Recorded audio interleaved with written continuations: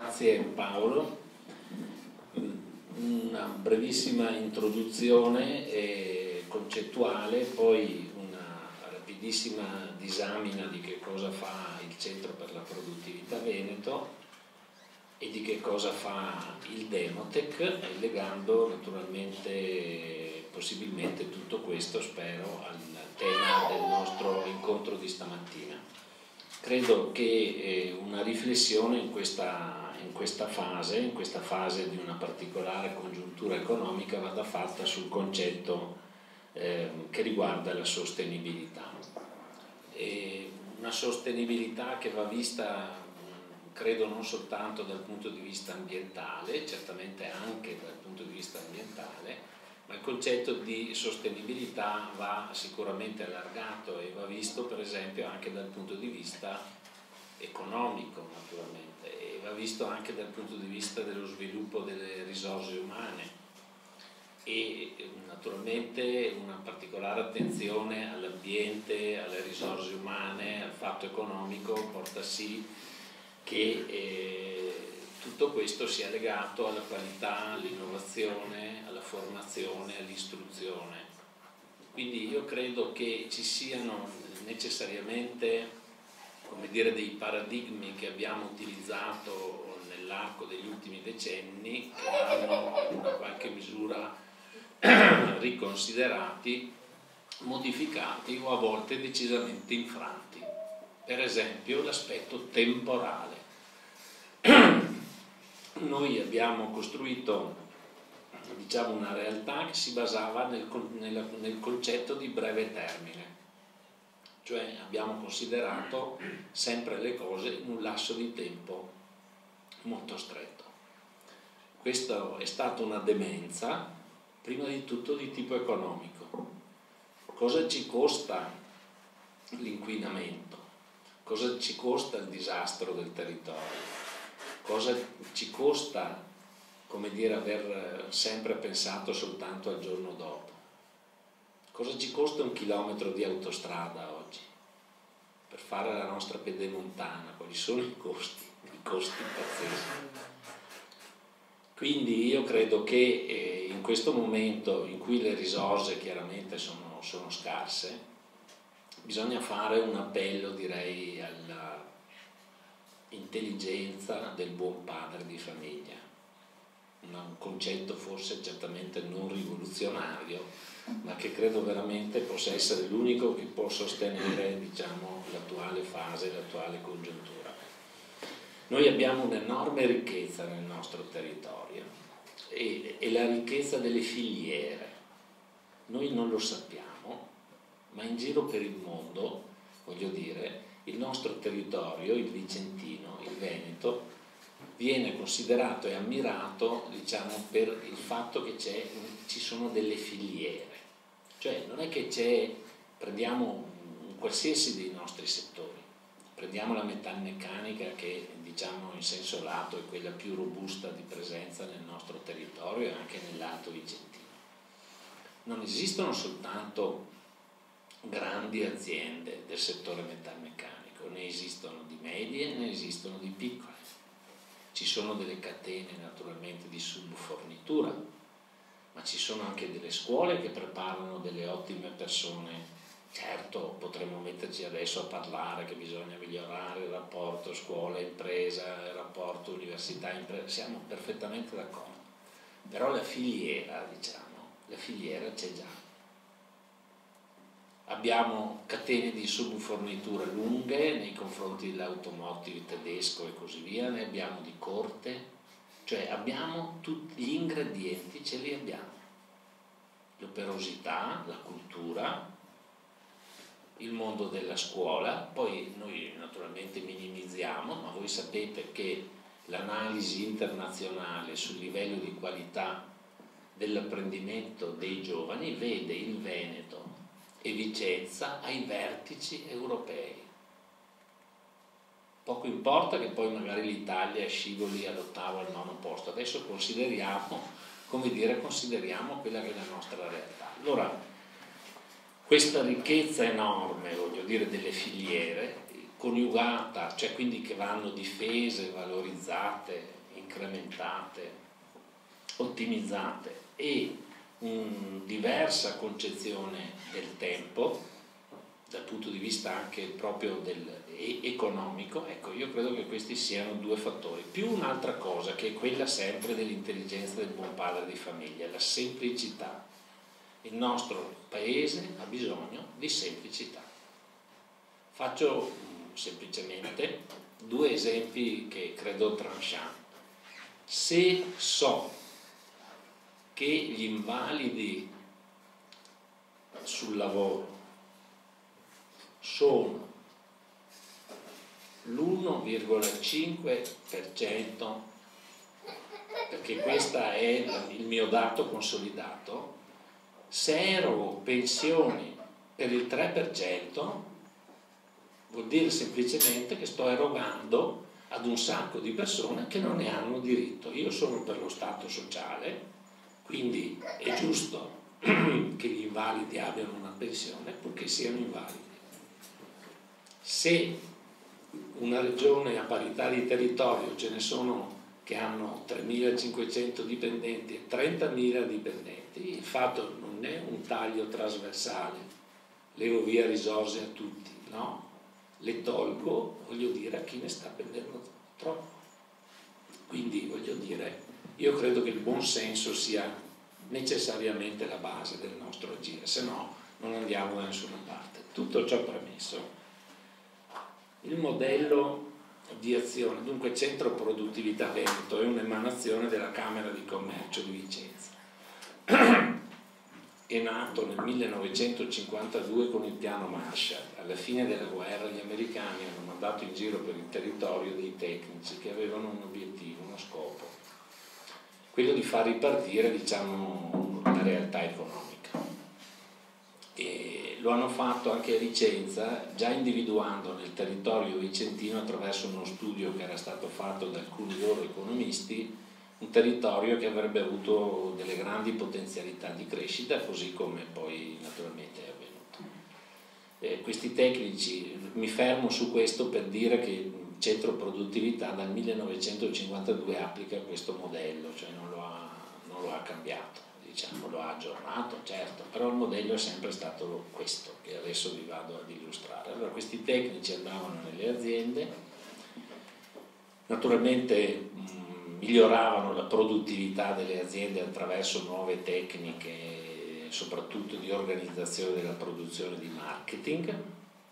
Il patto era vi faccio questo gratuitamente, voi aprite i cancelli, quindi se ci sono altre aziende che vogliono venire a vedere che cosa fate, voi dovete aprire i cancelli e mostrarlo, non naturalmente regalare agli altri i vostri segreti, ma mostrare come avete innovato, come avete modificato la vostra organizzazione e la vostra organizzazione della produzione.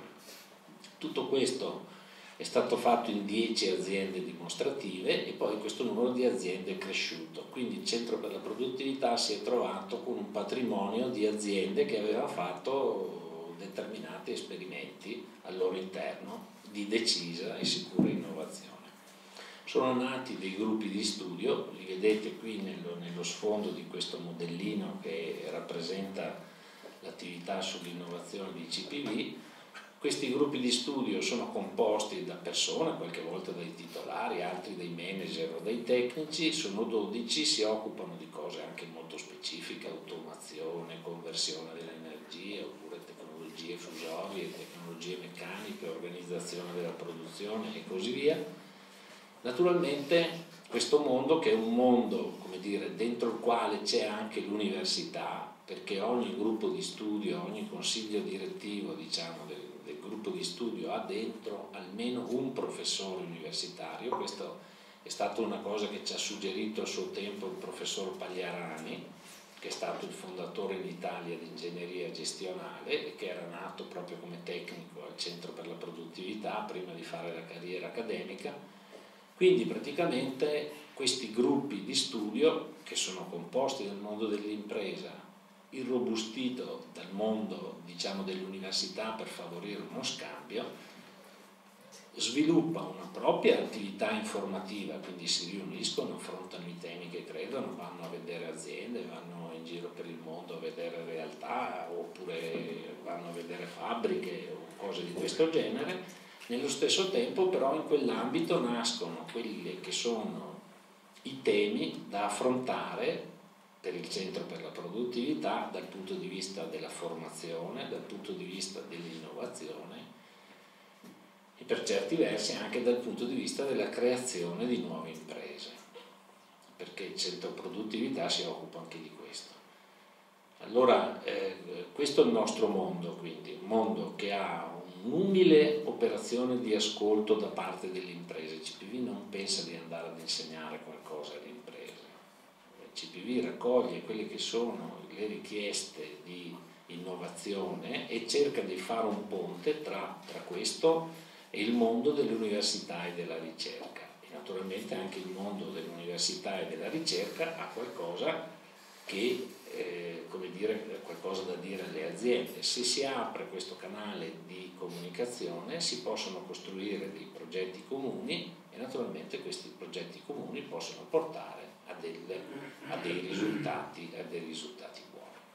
In questi giorni abbiamo avuto il professor Icovenco del MIT che il professor Icovenco eh, porta avanti una metodica che si chiama TRIZ che ha a che fare diciamo, con l'innovazione dei prodotti e, e, ha a che fare anche con il mondo dei brevetti che è una delle vocazioni diciamo, di Centro per la Produttività, che è uno dei punti di eccellenza europeo nell'erogazione dell'informazione brevettuale. È stata una settimana esaltante, siamo andati in giro per aziende, anche per aziende dell'Alto Vicentino e abbiamo veramente visto delle cose estremamente interessanti, perché è vero che siamo in un momento di grande difficoltà e di grave crisi, ma è anche altrettanto vero che ci sono tante aziende che sono ancora sul pezzo, che hanno voglia di innovare, che vogliono in qualche modo andare avanti e credo che siano soprattutto queste le aziende eh, diciamo che, che, che, che, noi, noi potremmo, noi potremmo sostenere ed aiutare. Ehm, Denotech è un gioiellino eh, che è nato da una volontà che accomunava il, il comune di Schio da una parte, la Camera di Commercio di Vicenza dall'altra, nell'idea di costruire un piccolo laboratorio di eh, innovazione di trasferimento tecnologico nell'area di Schio a beneficio di tutto l'Alto Vicentino, è nato così. CPV gioca diciamo, un ruolo operativo in questo, in questo Demotech e, e,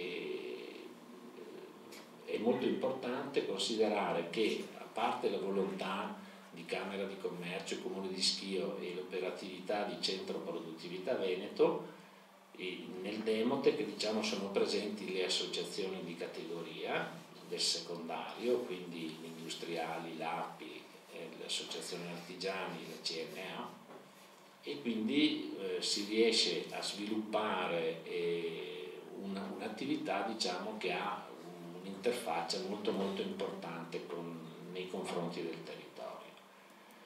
E, praticamente il comune di Schio ha questo, questo, questo gioiello che è l'ex lanificio Conte e quindi il Demotec ha una sua sede diciamo, dentro il lanificio Conte e questa è un'immagine diciamo, eh, dell'inaugurazione che è avvenuta il 24 gennaio eh, del, del 2011 qual è la vocazione diciamo, del, del Demotec. Ecco, vi dico due cose di centro produttività giusto per inquadrare con i numeri le cose.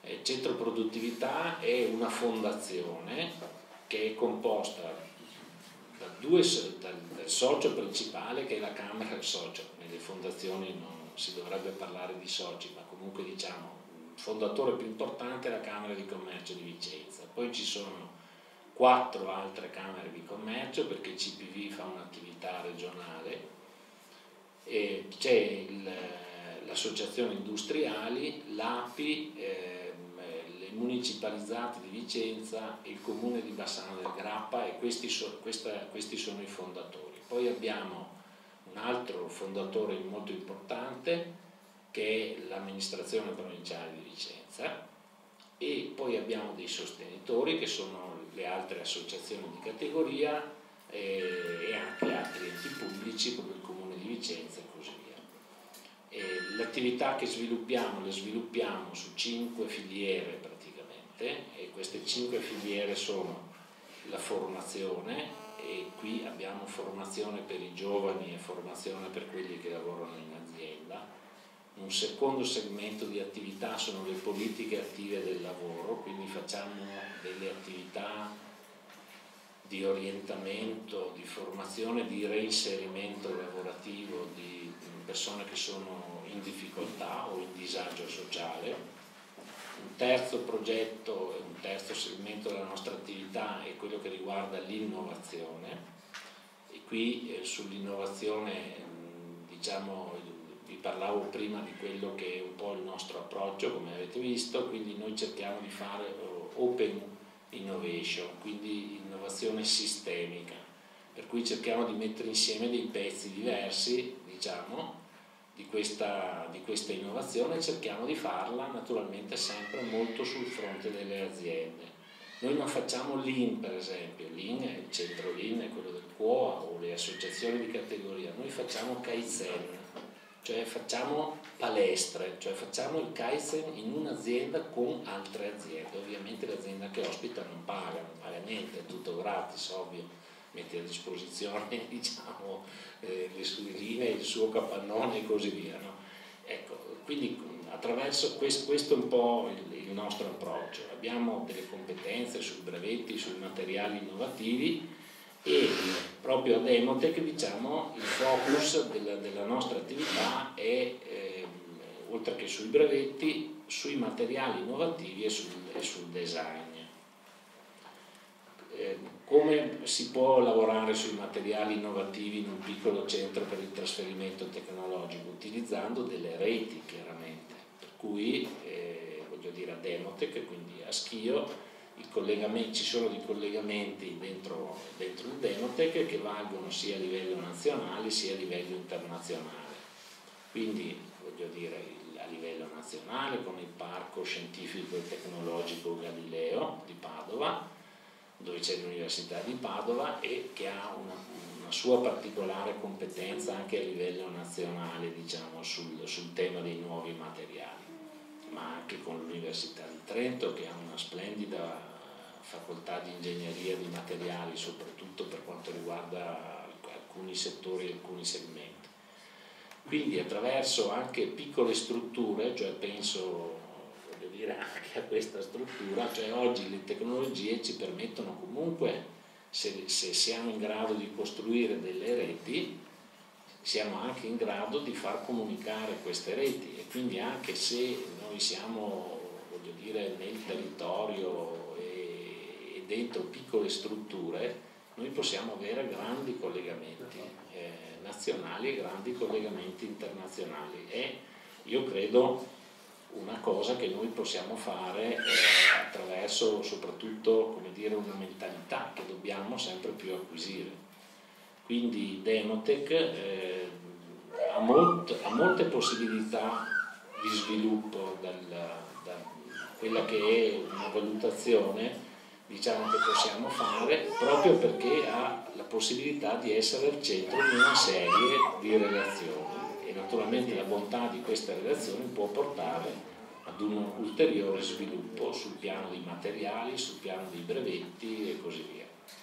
Una, chiudo dicendo che un ulteriore aspetto che va considerato e su cui CPV è anche molto attivo è quello da un lato diciamo, della creazione di imprese, dall'altro lato di attività che hanno a che fare con la responsabilità sociale, ormai non si dice più dell'impresa, si dice delle organizzazioni perché ci sono alcune novità, alcune linee guida internazionali che sono intervenute proprio nel 2011 che cosa significa avere una particolare attenzione alla responsabilità sociale delle imprese e delle organizzazioni? Noi pensiamo che l'impresa innovativa sia un'impresa etica, quindi che lavora sul concetto di sostenibilità, che lavora sul concetto di integrazione territoriale. Noi pensiamo che eh, questo sia un processo che debba nascere anche a livello delle piccole e medie imprese, che molto spesso assumono anche la, la, la, certificazione etica perché il grande committente lo dice, ieri all'Associazione Artigiani c'è stato un magnifico convegno che riguardava il settore della moda, lì c'era l'amministratore delegato della holding che possiede il gruppo Gucci, una roba da 15 miliardi di euro di fatturato, giusto per capire di cosa stiamo parlando, il quale ha detto i nostri fornitori nel giro di tre anni dovranno prendersi tutti la certificazione etica, punto e basta. Cioè se vogliono lavorare con noi devono fare così. Adesso questo è una, una versa, un versante, invece il versante CB... Dopo in Cina fa la roba. No, sì, no, no, ma certo, certo. Ma su, su, questo, su questo... Eh, scusa per andare più a qua. Sì, no, ma non è così, credetemi l'approccio può essere completamente opposto. Io metto insieme, questo è il modello di CPV che fa, io metto insieme piccole e medie imprese che sono interessate perché nella loro strategia di avere un, un, un, diciamo, un approccio etico alle cose e naturalmente vanno a prendersi la certificazione prima che glielo dica il committente. Queste sono le imprese eh, diciamo autenticamente innovative, queste sono le imprese che vanno aiutate, capite? Perché in effetti uno snodo etico, questo a livello dell'economia mondiale, ma anche a livello dell'economia locale e individuale, è assolutamente necessario, perché il modello opposto, che è quello attuale, ha mostrato come dire, che ci porta al fallimento. Quindi io propugno un'etica che non si basa su un principio ideologico o religioso, su un principio laico che è quello della sopravvivenza del nostro territorio e delle nostre aziende. Perché se non c'è poi questo, dire, questo snodo, che significa dire, comportamenti eh, attenti, comportamenti legati alla sostenibilità, comportamenti di attenzione ai lavoratori, eh, al territorio e così via, all'ambiente, eh, noi non andremo diciamo, da nessuna parte. È bene che lo sappiamo ed è anche giusto che si cominci a dire con molta tranquillità. Qualcuno di voi avrà visto la scorsa settimana c'è stata una magnifica trasmissione in un canale televisivo nazionale in cui hanno mostrato come funzionano le borse mondiali. E un economista diceva: Noi ci facciamo tante idee che sono tutte sbagliate, cioè provate a pensare che cosa vuol dire praticamente una macchina, un elaboratore in rete in tempo reale e noi siamo persone normali, diceva questo economista. La gran parte delle persone sono normali, lavorano, non sono lì mica che pensano se il loro titolo va su o va giù. Invece ci sono quelli che ci pensano e che agiscono e nessuno è in grado, com'è che possiamo dire, di, di contrastare questo processo. Se, se non, certo, se non attraverso una crescita, una crescita di tipo etico, che poi è nel nostro DNA veneto, eh, attenzione, cioè voglio dire, non è che la responsabilità sociale di impresa l'hanno inventata gli anglosassoni, credo che a Schio, voglio dire, qualche cosa di buono si sia fatto veramente qualche decennio fa, quindi questo è quello che possiamo dire. Grazie Antonio, ci hai raggiunto una pippotta robusta anche parte, eh, ma sì, sì, su, su questo tema ho deciso di